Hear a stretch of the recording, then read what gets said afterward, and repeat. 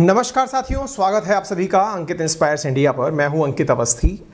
आज के सेशन में चर्चा है एक ऐसे मुद्दे की जिसने पूरे देश को झकझोर कर रखा हुआ है और एक यथार्थ प्रश्न हम सबके सामने लाकर खड़ा कर दिया है। प्रश्न ये कि देश की बच्चियाँ, देश में महिलाएँ किस प्रकार से सुरक्षित रहेंगी? यह विषय जिसको आज मैं आपसे डिस्कस करने जा रहा हूँ, बस यहाँ इस विषय में लिखे गए नाम समय समय पर परिवर्तित होते रहेंगे, लेकिन ये घटनाएँ पहली बार नहीं हो रही हैं। इसलिए जब आप इस घटना को सुने, जिसको मैं आपके साथ आज के सेशन में साझा करने जा रहा हूँ, केवल इसे अपने नॉलेज के पॉइंट ऑफ़ व्यू से कि हाँ हमें पता होना चाहिए था, इसलिए हमने सुन लिया। उससे कहीं ज़्यादा इस घटना को सुनते समय इस बारे में चिंतन ज़रूर करिएगा कि देश में ये घटनाएँ किसी ना किसी कॉर्नर में, कहीं ना कहीं किसी राज्य, ज़िले, गाँव, तबका, तहसील में कभी ना कभी, कहीं ना कहीं अंजाम ले रही हैं। किस तरफ़ बढ़ रहे हैं हम? क्या हमारे देश में हमारी बेटियाँ, हमारी बहनें, हमारी माताएँ, हमारे घर की गृहणियाँ, क्या ये सब सुरक्षित हैं? इसी को ध्यान में रखते हुए आज के सेशन को आप आगे बढ़ाएँ। इसके अलावा जो भी और आपके दिमाग में इससे जुड़े हुए पहलू आ सकते हैं, उनको सोचने के लिए आप स्वतंत्र हैं, लेकिन मेरा कंसर्न इस विषय पर ज़्यादा रहेगा कि आप विचार करें। आज घटना है, जिसके बारे में हम एक ज़िक्र कर रहे हैं। झारखंड की एक घटना है, जिसने इस समय पूरे देश को झकझोर रखा है। हमारे देश में महिलाओं के साथ हुए जो निर्मम घटनाएँ हैं, हत्याएँ हैं, वो हमारे देश को कभी ना कभी झकझोरती हैं। पर हम इतने, क्या कहें, व्यस्त हैं हमारे जीवन में कि हमें शायद वो उस समय तक ही प्रभावित करती हैं। कुछ दिनों तक स्टेटस मैसेज बनती हैं, फिर चाहे निर्भया हत्याकांड हो या फिर हैदराबाद के अंदर हुआ। महिला गैंगरेप हो। ये सब चीज़ें कुछ समय तक हमें निश्चित ही झकझोरती हैं, लेकिन उससे बढ़कर एक नया कांड हमारे देश में होता रहता है। शायद ये होता रहता है वाली जो नज़र, नेचर है हमारी, वही अब हमारी सबसे बड़ी कमज़ोरी बन गया है। तभी शायद ये घटनाएँ हमारी बहनों के साथ, महिलाओं के साथ हो रही हैं। आइए सुनते हैं। साथियों, झारखंड के अंदर एक बच्ची है जो कि टीन एज में है, यानी कि अभी अब तो है नहीं, वो थी। उसको एक स्टॉकर ने, स्टॉकर मतलब जिसका पीछा करने वाला जो लड़का था, जिसका नाम शाहरुख बताया गया। लड़की जिसकी मौत हो चुकी है, उसका नाम अंकिता, जिसका वो लंबे समय से पीछा कर रहा था, वो उसे पाना चाहता था, यानी कि उसका बॉयफ्रेंड बनना चाहता था। लड़की के साथ हमेशा रहना चाहता था। ऐसी स्थिति में चूँकि वो साथ नहीं रह पाया, उसने लड़की को एक दिन पहले धमकी दी 22 अगस्त के दिन धमकी दी पुलिस की जानकारी के अनुसार और 23 अगस्त के दिन सुबह पाँच बजे उसके घर की खिड़की को तोड़कर उसके ऊपर दूर से पेट्रोल छिड़क कर उस पर आग लगा दी। आग लगी, लड़की जलकर जल, जली। जलने के बाद उसे हॉस्पिटलाइज किया गया। पाँच दिनों तक बच्ची हॉस्पिटलाइज रही। हॉस्पिटलाइज रहने के बाद आखिर पाँच दिन बाद, तेईस तारीख के पाँच दिन बाद लड़की ने दम तोड़ दिया। बच्ची कहिए, लड़की कहिए, महिला कहिए, ये सब एक ही के रूप हैं, उसने दम तोड़ दिया। इस पूरी घटना के दौरान बच्ची ने मरने से पहले अपना जो स्टेटमेंट दिया, जिसे डाइंग डिक्लेरेशन कहते हैं, उसमें यह डिमांड किया गया कि मुझे जिस प्रकार से मारा गया, या शाहरुख ने पेट्रोल छिलक कर मुझे जला डाला, कैमरे पर उसने ये पूरी बात बताई और कहा कि जो मेरे साथ हुआ, वैसा ही उसके साथ हो। अंकिता नाम की जो ये बच्ची अब नहीं रही, इसने कहा, जैसे मैं मर रही हूँ, वैसी ही मौत शाहरुख को भी मिले। इस स्टॉकर का नाम शाहरुख था। ये झारखंड की उस पीड़िता के आखिरी शब्द हैं। मामला क्या है? ये यहाँ पर आपके सामने कुछ तस्वीरें हैं, जिनको देख करके आप अंदाज़ा लगा सकते हैं। 28 अगस्त के दिन की तस्वीरें जो सबके सामने हैं। उसके बाद से देश में यह मुद्दा काफ़ी गंभीर तरीके से इस समय उठ रहा है। नेबर, इसका पड़ोसी था ये लड़का शाहरुख हुसैन। इसने उस लड़की के ऊपर पेट्रोल छिड़क दिया और उसे जला दिया। मामला क्या है वो मैंने आपको बता दिया। इस मामले के अंदर बच्ची के लिए जो भी डॉक्टरी सहायता संभव थी तत् बाद में वो सब की गई, लेकिन उसको बचाया ना जा सका। घटना कहाँ की है? तो घटना झारखंड का एक ज़िला है दुमका। वहाँ की घटना है। झारखंड झारखंड की तरफ़ अगर पूर्वी झारखंड की तरफ़ चलते हैं तो दुमका नाम के एक ज़िले की घटना है। यहाँ पर, और अच्छा ये झारखंड में हुई, इसलिए हम पढ़ रहे हैं, ऐसा नहीं है। देश के किसी ना किसी कॉर्नर में कभी ना कभी ऐसी घटनाएँ होती रहती हैं। जैसे राज्य में मैं खड़ा होकर पढ़ा रहा हूँ, एनसीआरबी की रिपोर्ट के अनुसार ये है राजस्थान जो है, वो देश का रेप में नंबर वन राज्य है।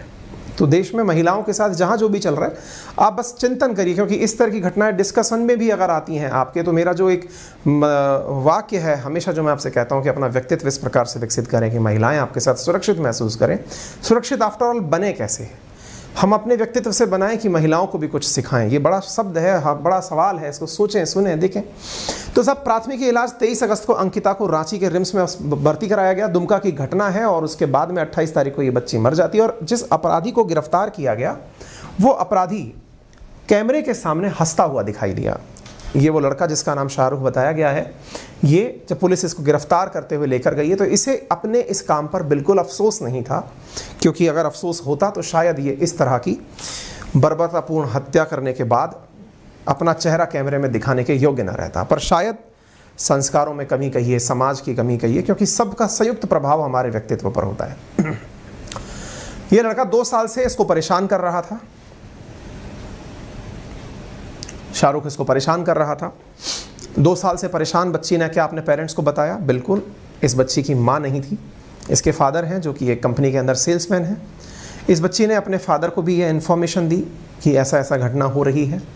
उन्होंने पुलिस में भी शिकायत की। पुलिस में शिकायत की तो एक दिन पहले की शिकायत के आधार पर पुलिस ने आश्वस्त किया कि आगे से ऐसी घटना नहीं होगी।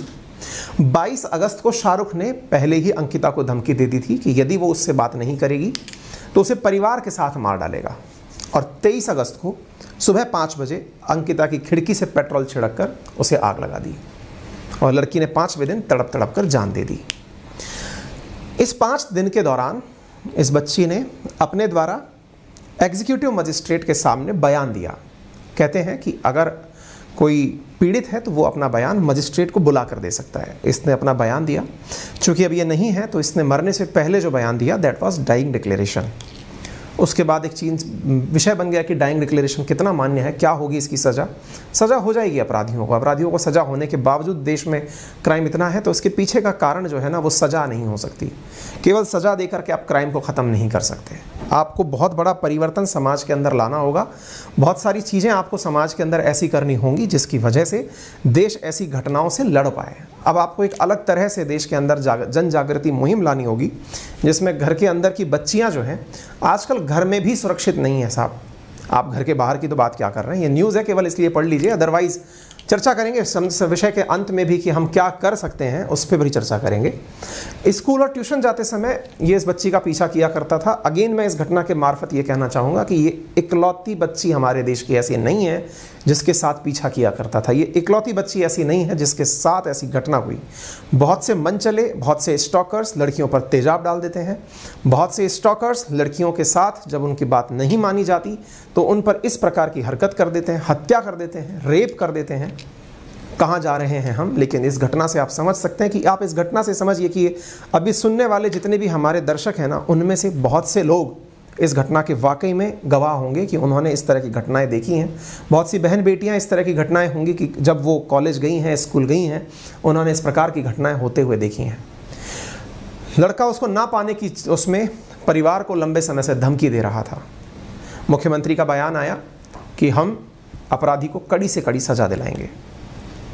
हेमंत सोरेन मुख्यमंत्री हैं। उन्होंने परिवार को 10 लाख रुपए की सहायता राशि इस घृणित कृत्य के लिए देने के लिए कहा। कि साहब, अब हम कर सकते हैं। सरकारों को भी क्या करना चाहिए? वो भी हम आज के सेशन में, अंत में एक बार हम घटना जान लेते हैं। इसके बाद में ये सारी न्यूज़ की दस लाख रुपए का चेक, फ़ोटो सेशन हुआ, सब कुछ हो गया। महिला कांड ने कहा कि तस्वीरें जो है वो सोशल मीडिया पर सर्कुलेट ना करें। मतलब महिला आयोग का ये कथन भी सत्य है, लेकिन मजबूरी है। मैंने भी इस चीज़ को आपको इसलिए बताया है, तस्वीरें हमने भी यूज़ में ली हैं। टेक्निकल भाषा में तस्वीरें यूज़ नहीं होनी चाहिए, ये महिला आयोग का भी संज्ञान है। लेकिन जिन न्यूज़पेपर्स का हवाला हमने लिया, जिनके माध्यम से ये सारी बातें आई, वो सब पहले ही मार्क, मार्केट में आ चुकी हैं। मेरा काम तो बस आपको उन न्यूज़ों को पढ़ के सुनाना है। I am not the reporter पर मैंने आपके सामने वो न्यूज़ यहीं से पढ़कर सुनाई, इसलिए मैंने सारे न्यूज़पेपर्स का रेफरेंस के रूप में यूज़ किया है। झारखंड हाईकोर्ट ने इस मामले पर संज्ञान लेते हुए डीजीपी को तलब किया और डीजीपी को तलब करने के बाद में उनको इस मामले की जाँच की बात कही। इस मामले की जाँच एसआईटी के द्वारा की जाएगी। एसपी के अध्यक्षता में स्पेशल इन्वेस्टिगेशन टास्क फोर्स का गठन किया गया। इस मामले की गंभीरता देखते हुए हर हर कॉर्नर पर इस घटना के हर पहलू पर ध्यान देगी। अब सवाल बहस के रूप में ये उठ रहा है कि इसमें शाहरुख को कौन सी सज़ा मिल सकती है? चूँकि उसने जहर जैसे या पेट्रोल जैसे छिड़क कर जलाने की कोशिश की है आपराधिक धमकी दी है हत्या की है तो ऐसी स्थिति में आईपीसी की धारा 328, 506, 302 के तहत उसके ऊपर केस दर्ज कराया जा सकता है। उसी के तहत धारा धाराएँ दर्ज की गई हैं और अब प्रयास ये रहेगा कि रेयरेस्ट ऑफ़ द रेयर के केस में दर्ज किया जाए ताकि उसको फांसी के फंदे तक पहुँचाया जा सके। झारखंड के अंदर हुई यह घटना। इस विषय के ऊपर एक बहस और सोशल मीडिया पर छिड़ी हुई थी। कहीं एक जगह पर बच्ची की उम्र 19 साल कोट कर दी गई थी, लेकिन बच्ची 19 साल की ना होकर 15 साल 9 महीने की थी। नाबालिग थी, क्योंकि पॉक्सो एक्ट के अंदर ये इसकी एक मीडिया के अंदर इसकी एक मार्कशीट वायरल हुई जिसमें इसकी एज वगैरह सब पता चली। उस मार्कशीट के माध्यम से ये पता चला कि ये बच्ची अभी टीन एज में थी 16 साल से कम की थी।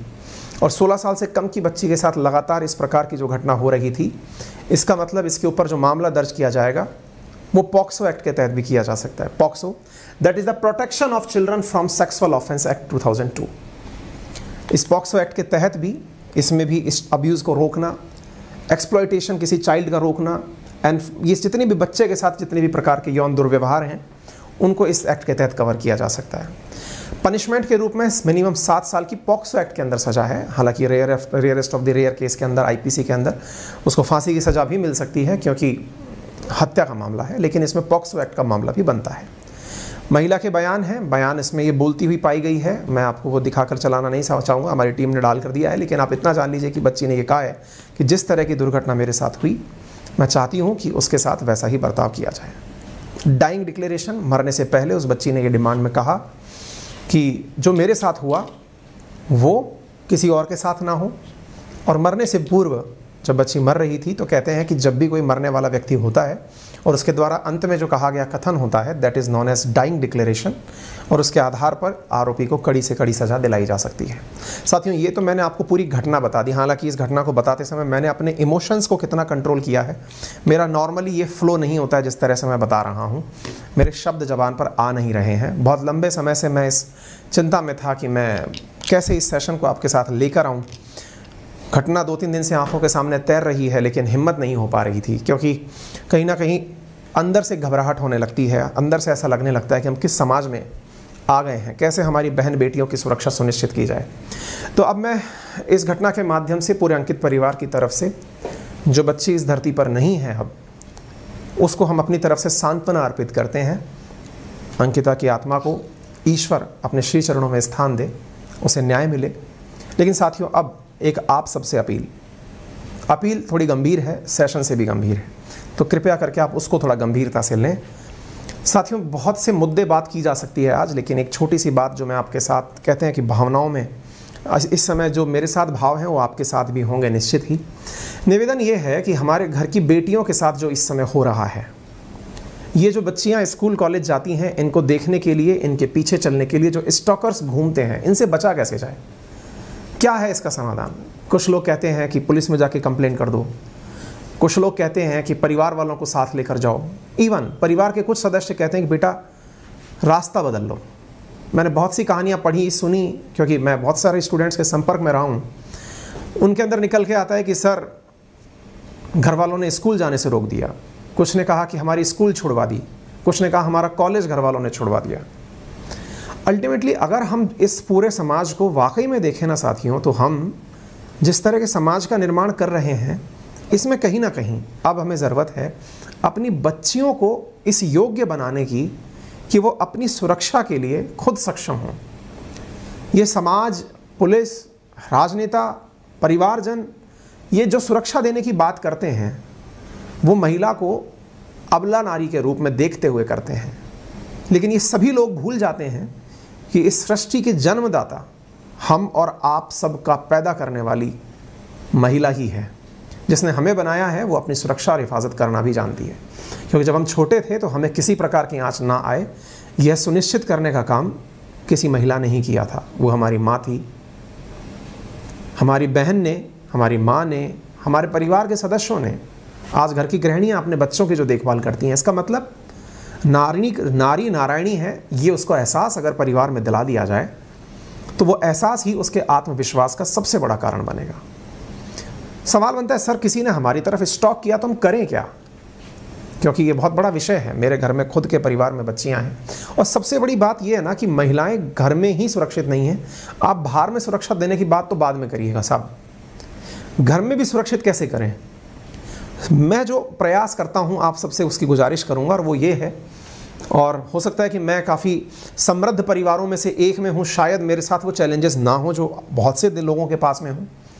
लेकिन फिर भी मैं आप सबसे यही कहना चाहूँगा साहब, कि अगर हो सके तो अपनी बच्चियों को उनकी ताकत का एहसास दिलाएँ। उन्हें सक्षम बनाएँ। उन्हें वो सारी चीज़ें सिखाएँ। उन्हें उनकी बोली का एहसास कराएँ। उनकी आवाज़ का, उनके रुतबे का एहसास कराएँ, उनको उनकी ताकत का एहसास कराएँ और इस बात में बिल्कुल शर्म ना करें जब आपकी बच्ची खुद की ताकत दिखाने के लिए कभी मंच की मांग करे। चाहे वो किसी भी रूप में हो, चाहे वो स्पोर्ट्स में पार्टिसिपेट करके हो, चाहे वो कुश्ती, दंगल, जूडो, कराटे, महिलाओं को जब तक आप खुद से परिवार के भीतर रहते हुए उनकी शक्ति का एहसास नहीं कराएँगे, आप आपके घर में सबके माँ बहन हैं, बेटियाँ माँ बहन गृहणियाँ सब हैं। उन्हें सिखाइए कि जब आप पर जुल्म हो रहा हो, ये जितने भी स्टॉकर या फिर परेशान करने वाले लोग होते हैं, बड़े ही बुजदिल प्रकार के लोग होते हैं। मैं आपको बता दूँ साथियों कि मैं मतलब खैर, आप मेरे बारे में कहीं ना कहीं से बहुत कुछ तो जानते ही हैं। एक छोटा सा अनुभव है, यही है अब तक का, कि ये जितने भी लोग हैं, क्योंकि जो ज़िंदा दिल है, या फिर जिसमें हिम्मत है, वो इस प्रकार की चीप हरकत करेगा ही नहीं। मतलब ये एक तजुर्बा मान लीजिए, आप खुद भी उस समाज के हिस्से हैं, शर्म आती है बहुत बार ये सोचते हुए कि कुछ लोग समाज के अंदर लड़के होने के नाम पर दाग हैं, धब्बे हैं। और जब वो धब्बे हैं तो उन धब्बों की वजह से पूरा पुरुष समाज ही गालियाँ खाता है। हम में से बहुत सारे लोग इस घटना को मज़हब से भी जोड़ेंगे, धर्म से भी जोड़ेंगे, कास्ट से जोड़ेंगे, ग्रीड से जोड़ेंगे। आप जिससे जोड़ें साहब लेकिन अंत में ये मत भूलिएगा कि जो इंसान आप देख रहे हैं, उस इंसान पर हमारे ही समाज का, हमारे ही संस्कार का प्रभाव है। और जब प्रभाव है ना तो आप सबसे गुजारिश ये है कि हमारे समाज के अंदर रह रही बच्चियों को पुरुषों से बचाने की आवश्यकता नहीं है। आपको बस इतना ध्यान रखना है कि जो भी स्टॉकर है, जो भी पीछा कर रहा है, वो बहुत ही डरपोक किस्म का आदमी है।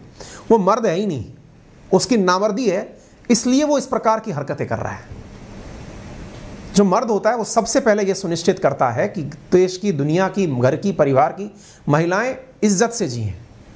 घर के संस्कारों में पुरुषों को जब ये मर्दानगी सिखाई जाती है कि तुम इंसान बने, पुरुष बने तो इसका महत्व क्या है? तो उसके महत्व के रूप में यही सिखाया जाता है कि तुम्हारी वजह से किसी को किसी प्रकार की क्षति ना पहुँचे।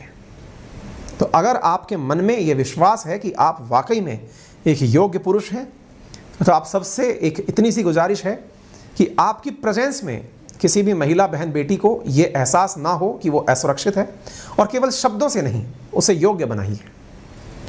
उसे योग्य बनाइए कि उसे किसी की सहायता की ज़रूरत ना पड़े। महिलाओं में बहुत शक्ति है। और उसको बताइए कि कैसे किसी भी इस प्रकार के व्यक्ति से निपटा जा सकता है। और कहते हैं कि किसी भी परेशानी को आने से पहले ही अगर कुचल दिया जाए, जब कोई सांप मुँह उठाए, उसके फन को वहीं कुचल दिया जाए, जब भी कोई इस तरह की हरकत हो, उसको उसी समय करारा जवाब दे दिया जाए अपने व्यक्तित्व में इतनी मजबूती हो कि करने से पहले वो दस बार सोचे, क्यों हमारे ऊपर ही हरकतें हो, क्यों हम उसके ऊपर जाकर के उसकी शिकायत, उसके परिवारजनों के सामने शिकायत और फिर आमना सामना करने की हिम्मत हमारी बच्चियों में दें। मैं केवल इतना ही आप सबके साथ आज के सेशन में गुजारिश करना चाहूँगा। फ़िलहाल के लिए इतना ही साथियों, दिल आपका भी दुखी है, मेरा भी दुखी है, मैं कुछ, मेरा ये नॉर्मल सेशन नहीं है, जैसा मैं कर पाता हूँ, वैसा हो नहीं पा रहा है। तो मैं आप सबसे इतना ही कहता हूँ कि आप सभी प्लीज़ समाज के लिए इतना कर जाइए कि बड़ों का सम्मान हो सके, छोटों को प्यार मिल सके और महिलाएँ आपके साथ सुरक्षित महसूस करें। धन्यवाद।